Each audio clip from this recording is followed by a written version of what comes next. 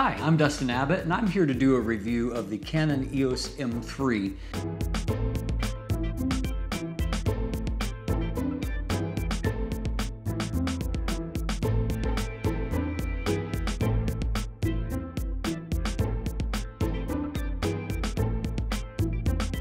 I got into the original M several years ago and it actually served me well despite its obvious limitations. In fact, it has been moved on to my son Samuel who is now producing some great images with it himself. But I decided to move to the M3. I skipped the M2 which was not released in North America and was kind of a marginal um, update over the original M. But with the M3 there are a number of notable upgrades that made me want to take the plunge.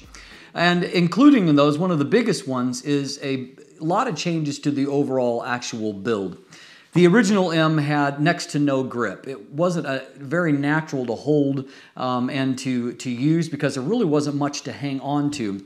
The M3 is vastly improved and now has one of the best grips for any um, mirrorless body out there. It's very natural to hang on to and of course it helps with one of the features of the M system is using um, EF lenses through the adapter on the mirrorless system.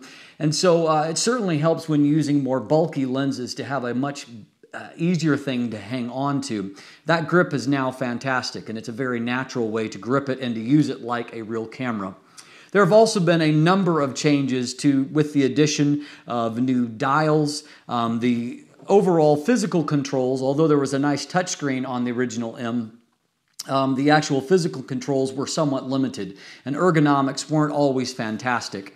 It's vastly improved with the M3, um, with both the addition of several new dials, including uh, one right near the shutter so that you can change aperture or shutter speed. Very, very welcome. It has a more complete dial with all the modes, uh, different modes here. And then finally, it's added on another dial along the top that allows you to change exposure value on the fly and up to uh, three stops in either direction. That is a very, very welcome addition. On the back, there are also a, a few additional buttons that can be programmed for different functions, plus just a more logical layout of the controls themselves. Add to that that now the uh, touchscreen is a tiltable LCD that will allow you to uh, reverse selfie mode here, but also if you're shooting down here, um, say shooting video or shooting at a low angle for macro, it's very easy to use, or if you're using it up high, it can be tilted down. The only thing that I wish is that it was an actual fully articulating LCD like on, say, my Canon 70D body, simply because really this tilting only helps when you are composing in horizontal mode. If you're in vertical mode, it's not really going to help in hardly any situation and uh, because it can't really tilt on that axis. And so I prefer the fully articulating, but nonetheless, this is a very, very welcome addition and one that comes in very, very handy in a number of applications. On top of that, um, before the original M had no built-in flash unit, relying on the 90EX flash unit um, that was sold in kit with it sometimes.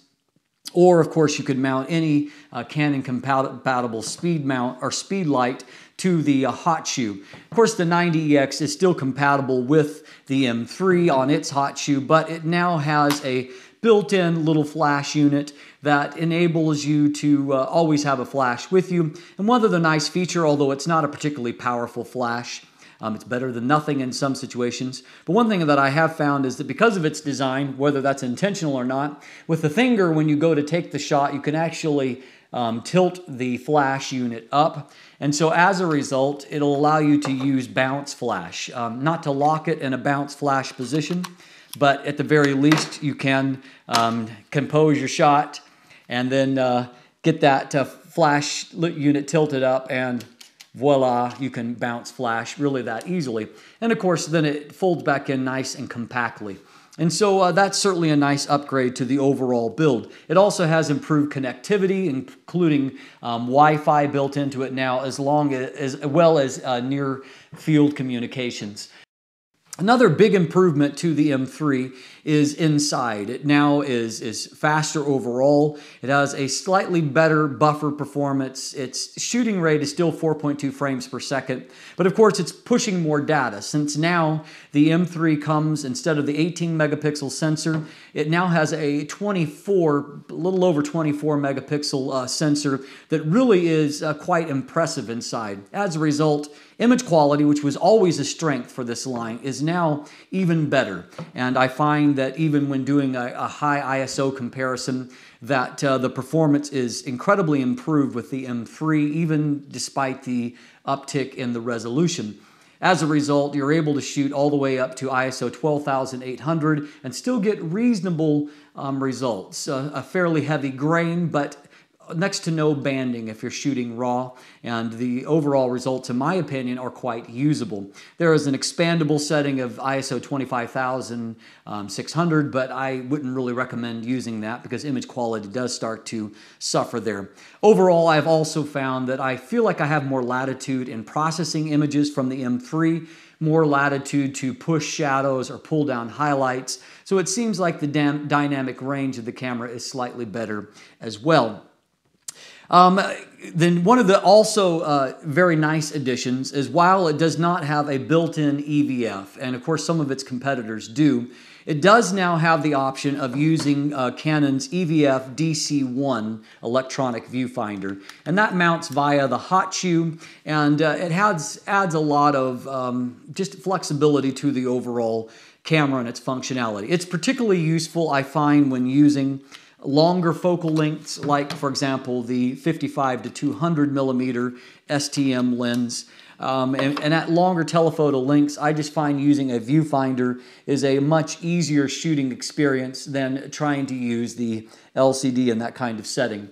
A couple of nice features on the, uh, the EVF is that it has a, a, a sensor, so when your eye comes close, it automatically switches to the the view, image to the EVF, turns off the LCD, and then if you pull your eye away, it will automatically switch back to the LCD.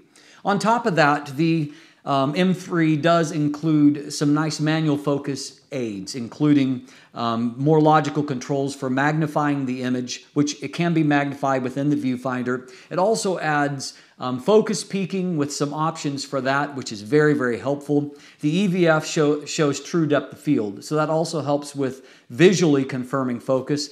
And one other nice addition is that now there is a dedicated manual focus button on the back of the camera. And so if you happen to be um, shooting and for whatever reason autofocus isn't doing what you want and you want to manual focus, you can even, with any of the STM lenses, you can turn off the autofocus right there and begin to uh, manually focus the lens, which is certainly a nice addition because before because there are no actual switches on any of these STM lenses for the uh, M system, it meant you had to go into the menus before to disable autofocus and switch to manual focus. And so that certainly is also a very welcome addition. In a lot of ways, the M3 has moved further and uh, moved along, but in some ways, it's still not competitive. As I've mentioned, that uh, burst rate is still rather low uh, at only 4.2 frames per second. It also um, is not going to really accurately um, autofocus in between those shooting frames. One issue that is resolved from the original M is that when you took a shot with the original M, the LCD would black out and it would be several seconds before it would refresh and be ready to compose once again. That's not at all an issue with the M3. The refresh is near instantaneous and you're ready to compose and shoot again almost instantly. However, if you're shooting raw, the buffer still fills up far too fast. And um, you can put in about five or so um, raw images, but then it will have to pause and the frame rate will drop down to about one frame per second and so that the buffer can fill. Now, if you're shooting JPEGs, the, the limit before was 17 JPEGs uh, before the buffer would fill with the M Classic. Now you can shoot JPEGs essentially unlimited. However, the actual applications for that are somewhat few and far between. The biggest issue, of course, is that that frame rate is still rather low, particularly when compared to a few of the Sony competitors that will shoot as many as 11 plus frames per second.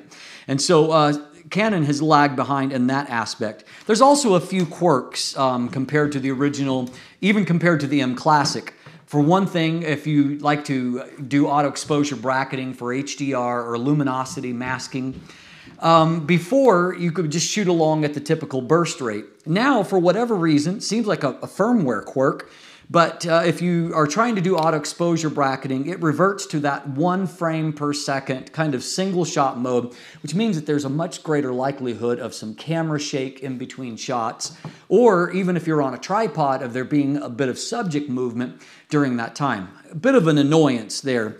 Another quirk is that before, if you were magnifying the image, you could autofocus. If you wanted a little bit more precise focus, you could magnify that image and then autofocus.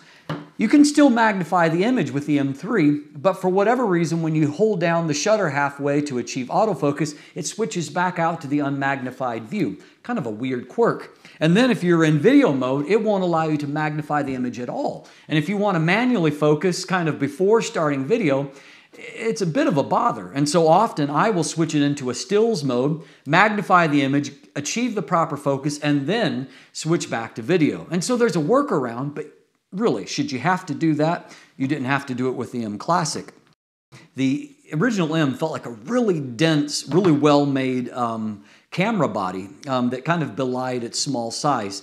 The uh, M3 feels a little bit more plastically, but that really is just perception. It also has a magnesium alloy frame and it has the same kind of coatings on the outside. So it's a sturdy, tough camera.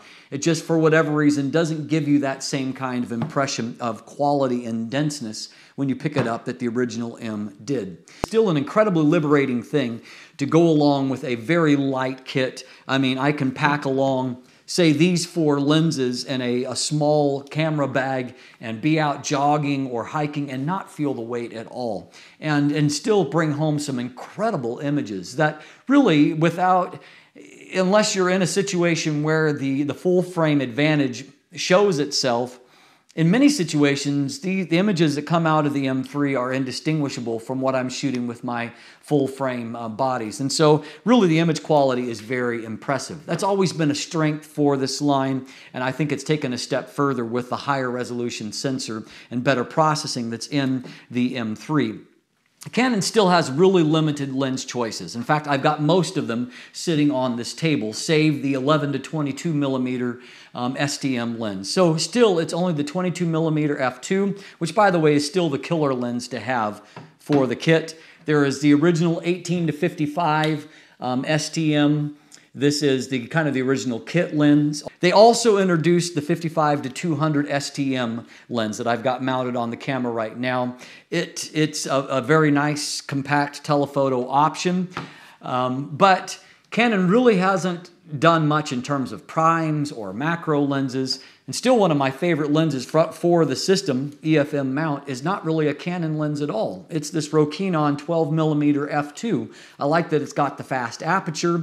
I like the fact that it's got a great wide focal length and amazing sharpness. It's a good astro lens, so good for, it has low coma and a great performance. And it has 67mm front filter threads. And so you can use a lot of relatively cheap um, filters on it. And so it's a very compelling wide angle option. The 11 to 22 millimeter is also an excellent um, wide angle lens. But as you can see overall, there really aren't a lot of options in this kit. And that brings me to one final downside to the M3. Kind of the selling feature for the M system has been the ability to use all of your EF lenses. When you use the adapter, that will allow you to retain autofocus and to mount lenses. And by the way, this little 40 millimeter f2.8 pancake lens is still one of the best lenses to mount because size-wise and in its operation, it feels like a native lens. But unfortunately, when using the EF adapter, in many cases, it feels like lenses don't perform as well as what they did on the original EOS M. To me, it seems like the focus system has changed in the M3 and the adapter is not caught up to that. Its algorithms, or however it helps to achieve focus from the EF mounted lenses, it's not quite up to spec. And I really feel like Canon needs to release an updated um, version of the EF adapter to help lenses perform better on the M3. A number of these quirks that I've noted really could be addressed through firmware and perhaps hopefully will be addressed that way. But right now, the, Canon, the actual Canon EOS M3 feels a little bit unfinished. And as a result, there are some added frustrations, even compared to the original M Classic, that shouldn't be there. If you are an existing Canon user like myself, the appeal of being able to use some of your existing lenses on a small, very portable mount is very uh, is seductive indeed. And in that aspect, the M3 is still a very capable backup camera or light option. For the way that I use it, I'm delighted with the M3. It produces great results and I can deal with its quirks because I don't rely on it. But if you are not an existing Canon user and you are cross-shopping the M3 with perhaps some of the other options out there, it might be a bit of a tough sell to go with the M3 because in some ways it's been outpaced by its rivals in autofocus, in video mode capability, and some of the other feature sets. Finally, I'm going to add, end on a positive note, however.